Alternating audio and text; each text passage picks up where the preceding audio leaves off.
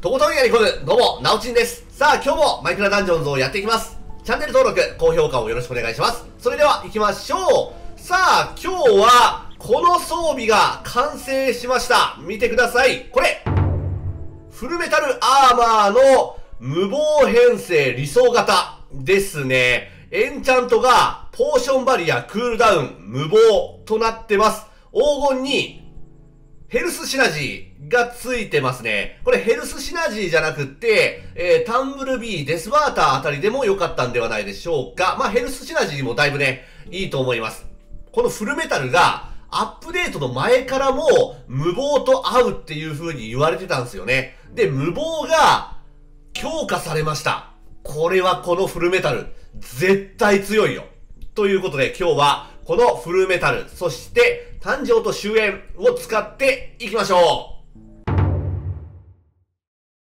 それでは鉱山に行きましょう。今回の変更点が苦痛の矢に変わって、えー、ベビーゾンビが移動速度30%か。まあまあ大丈夫でしょう。で、今回、今回つけてる防具、えー、フルメタルアーマー。これがね、無謀と合うっていうのが、やっぱりね、このスキルだよね。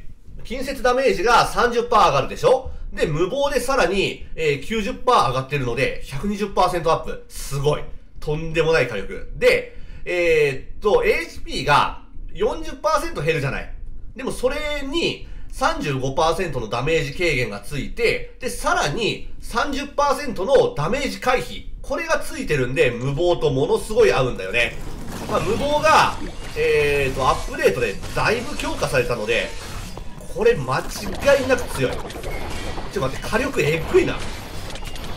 この誕生と終焉も、火力がもうえぐいもんね。ああ。これは、えっ、ー、とね、アップデートで、全く何も修正されなかったんだけども、まあまあ修正前から強かったからね。これはかなり、いいセットじゃない？うん。でね、この誕生終焉が、まだカスタムしてないやつなんですよね。元々から持ってるやつで、結構いいエンチャントなんで、このまんま使ってたんですけども、エンチャント変えてもいいかもしんないなうーん。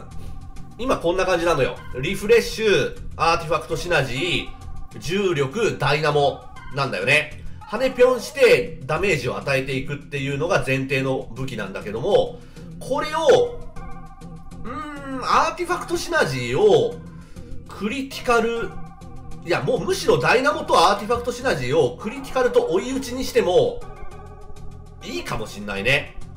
うん。もしくはクリティカルとアンチャンティングとか。うーん。やっぱね、ダメージを取れるんだけども、そうだね、一発一発がそこまで重いやつじゃないので、うーん、地に足をついて戦うような編成にしていった方がいいのかなうん、ちょっと悩むんですよね。確かにこうぴょんぴょんすればものすごい火力出るのよ。でもすごく忙しい。なので、おー、いるねむちゃくちゃいるよ。いい、いい、いい。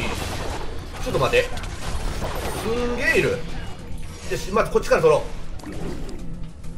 これ取り損ねないようにしないとね。やった、めちゃくちゃいる。これはありがたいね。どこだ？あ、いましたね。わあブレーって言った。ブレーって言った。とんでもねえわ。びっくりしたちょっと待って、パワーポーション取らせて。びっくりするね、ダメージ効いた。はいはいはいはい。スライムがすっごい重なってたのね。そりゃ死ぬわ。オッケー。取りましょう。神秘なんだ出たーナイトもちょっと待って。これ3日続けてぐらいナイトモードばっかりだよ。なんだ呪われてんのかこれ。ナイトモードがやたら出るんだな。いやこれ運がいいのか悪いのかよ。うん。よっしゃ行きましょう。わおいいね。まあもちろんね HP はねゴリゴリ減ってるんで。ダメージはもろ食らいますよ。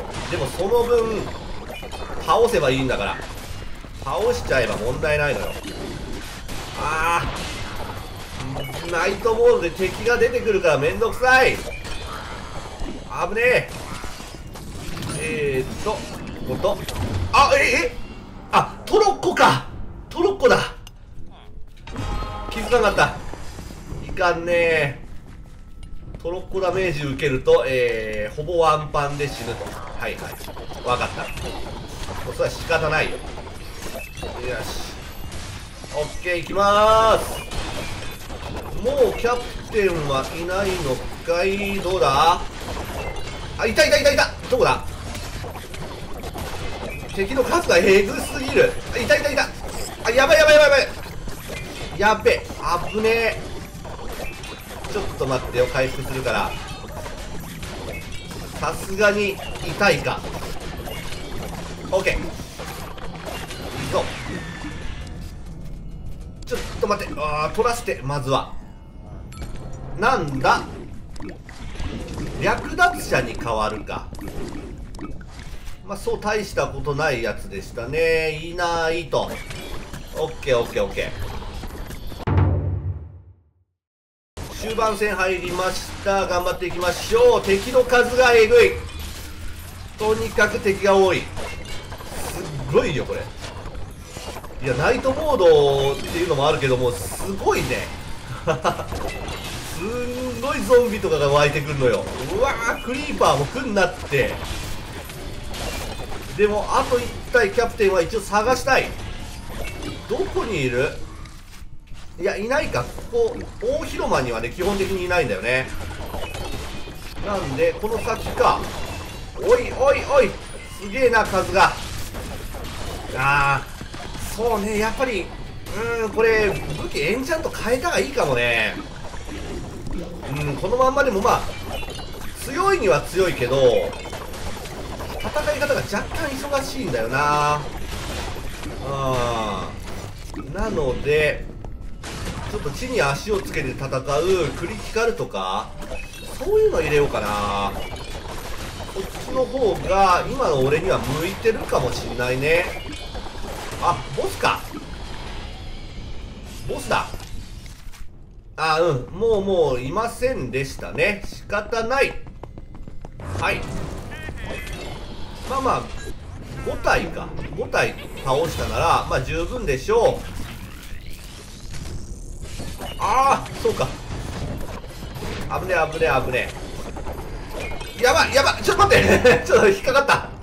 引っかかった。オッケーオッケー。ダイナモ貯めて一発でいきます。いった。はいしゃー。はいクリアしましょう。あ。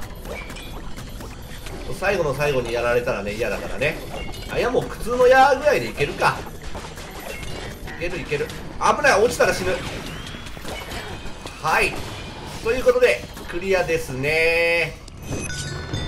はいそれでは戻ってきました。今日はこれ。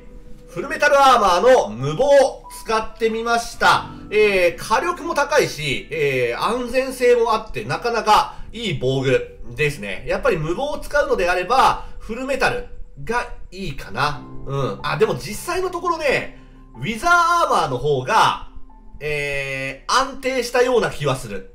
安全だった、あっちの方が。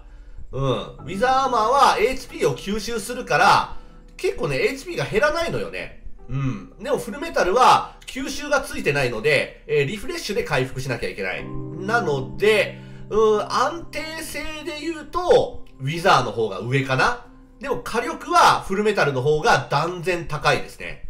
うん。まあ、無謀を使おうとするたら、フルメタルか、ウィザー。あと勇者ぐらいか。うん、その3つぐらいじゃないかな。うん、他ではちょっと厳しい気がしましたね。で、この前入手したこれ、ゴーストキンドラーの無謀がついてるやつ。これもどうなんだろうなと思うね。うーん。まあ、戦い方次第か。まあ、とにかく、えぴょんぴょんして霊体になりまくれば、ダメージも減るんで、うん、ちょっと忙しい感じになるだろうけどね。これでもいいかもしんない。今度使ってみますね。はい。ということで今日は無謀の、えー、フルメタル使ってみました。なかなかいいですね。はい、ということで、またやっていきます。チェックをよろしくお願いします。そして、チャンネル登録と高評価もよろしくお願いします。それではご視聴ありがとうございました。